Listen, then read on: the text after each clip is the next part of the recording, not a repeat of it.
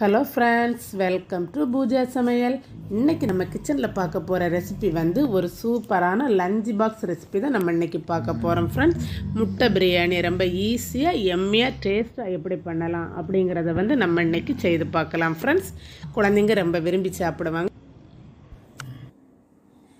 இப்போ நம்ம ஒரு கடாயில் ரெண்டு ஸ்பூன் நெய் விட்டுக்கோங்க ரெண்டு ஸ்பூன் எண்ணெய் விட்டுக்கோங்க.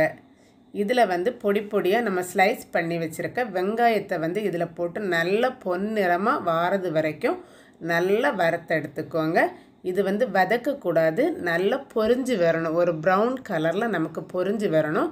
அது வரைக்கும் நல்லா கிண்டி விட்டு இப்படி பொரிச்சு எடுத்துக்கோங்க. இப்போ நமக்கு வெங்காயம் வந்து ரெடி ஆயிடுச்சு. அதை வந்து இப்போ நம்ம ஒரு பாத்திரத்துக்கு மாற்றிக்க போகிறோம். மாற்றிட்டு அதே கடாயில் இருக்கிற எண்ணெயில் வந்து ஒரு ஸ்பூன் மிளகாய்த்தூள் போட்டுக்கோங்க.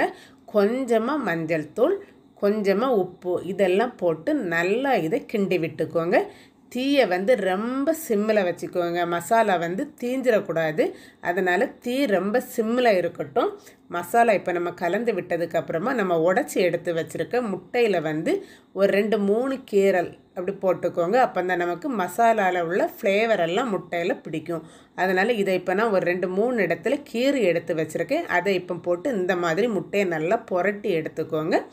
மசாலா எல்லாம் நல்லா முட்டையில் படும்படியாக நல்லா இப்போ இந்த மாதிரி எடுத்துக்கோங்க. இப்போ இதையும் நம்ம ஒரு பாத்திரத்தில் மாற்றிக்க போகிறோம் மாற்றிட்டு இப்போ நம்ம குக்கரில் வந்து ஒரு ஸ்பூன் நெய் ஒரு ஸ்பூன் எண்ணெய். இதெல்லாம் விட்டுக்கோங்க. இதில் வந்து பட்டை கிராம்பு ஏலக்காய் இதெல்லாம் அன்னாசிப்பூ எல்லாம் போட்டு இது நல்லா பொரிஞ்சு வரட்டும்.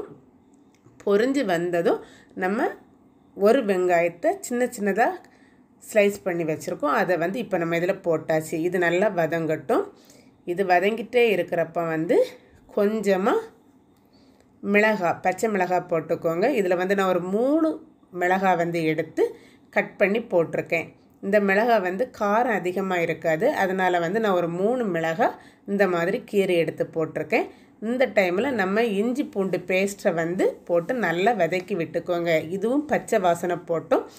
போன உடனே தானே கொஞ்சமாக வெங்காயம் சேர்த்துக்கோங்க. பெரிய சைஸ் வெங்காயமாக இருந்தால் ஒன்று சேர்த்துக்கோங்க. நான் இப்போ ஒரு வெங்காயம் தான் சேர்த்துருக்கேன். இது நல்லா வதங்கட்டும். இது வதங்குற கேப்பில் வந்து நம்ம இந்த பிரியாணிக்கு டேஸ்ட்டை கொடுக்கக்கூடிய ஒரு பேஸ்ட்டை வந்து ரெடி பண்ண போகிறோம் இதுக்கு வந்து ஒரு கப் கெட்டி தயிர் எடுத்துக்கோங்க. அப்புறமா காஷ்மீரி சில்லி பவுடர் வந்து ஒரு ஸ்பூன் எடுத்துக்கோங்க. தனியா ஒரு ஸ்பூன் எடுத்துக்கோங்க. கரம் மசாலாவும் ஒரு ஸ்பூன் போட்டுக்கோங்க. மஞ்சள் தூள் வந்து கொஞ்சமாக போட்டுக்கோங்க. இதை நல்லா கெட்டியாக நல்லா கலக்கி வச்சுக்கோங்க. இந்த டைமில் நமக்கு வந்து வெங்காயம் தக்காளி பேஸ்ட் வந்து நல்லா வதங்கியாச்சு. இதில் கொஞ்சமாக மல்லித்தலை தூவி நல்லா வதக்கி எடுத்துக்கோங்க. இந்த டைமில் நம்ம ரெடி பண்ணி வச்சுருந்தால பேஸ்ட்டு இதை வந்து நம்ம இதில் சேர்த்துடலாம். இப்போ இதை சேர்த்து நல்லா கிளறி விட்டுக்கோங்க. இதுவும் நல்ல பச்சை வாசனை போகிற அளவுக்கு நல்லா வதக்கிட்டு எண்ணெய் பிரிஞ்சு வர்றது மாதிரி நமக்கு தெரியும்.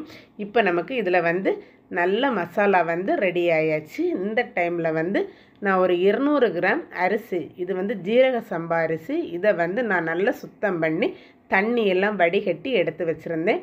அதை இப்போ நான் இதில் சேர்த்து நல்லா கிளறி விட்டாச்சு.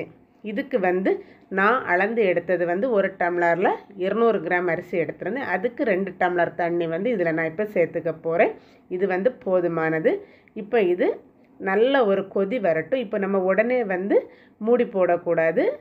இப்போ எனக்கு வந்து கொதிச்சாச்சு.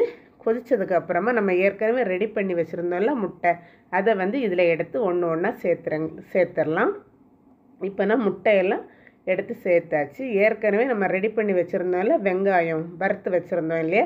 அதையும் இப்போ நம்ம வந்து இதில் எல்லா இடம் படுற மாதிரியாக தூவி விட்டாச்சு. தூவி விட்டுட்டு இதுக்கு தேவையான உப்பு நான் இப்போ சேர்த்துட்டேன். இதுக்கு தேவையான கொஞ்சமாக மல்லித்தலை தூவிடுங்க. மல்லித்தலையும் இப்போ நம்ம தூவியாச்சு. இப்போ நம்ம இதை ஒரு மூடி போட்டு ஒரு ரெண்டு விசில் வாரது வரைக்கும் நம்ம இப்போ வெயிட் பண்ணலாம். இப்போ வந்து நமக்கு ரெண்டு விசில் வந்தாச்சு. ரெண்டு விசில் வந்ததுக்கப்புறமா இப்போ நமக்கு முட்டை பிரியாணி எப்படி வந்திருக்கு அப்படின்னு பார்க்கலாம். கம கம வாசனையோட முட்டை பிரியாணி வந்து ரெடி ஆயிடுச்சு. சூப்பராக எம்மியாக உதிரி உதிரியான முட்டை பிரியாணி இப்போ நமக்கு ரெடி ஆயிடுச்சு. இது வந்து லஞ்ச் பாக்ஸில் நம்ம குழந்தைங்களுக்கு வச்சு கொடுத்தா ரொம்ப எம்மியாக சாப்பிட்டுட்டு வந்துடுவாங்க ஃப்ரெண்ட்ஸ் இந்த டிஷ்ஷை நீங்கள் உங்கள் வீட்டில் செய்து பாருங்கள் பிடிச்சிருந்தா லைக் பண்ணுங்கள் ஷேர் பண்ணுங்கள் கமெண்ட் பண்ணுங்கள் மறக்காமல் சப்ஸ்கிரைப் பண்ணுங்கள் தேங்க்யூ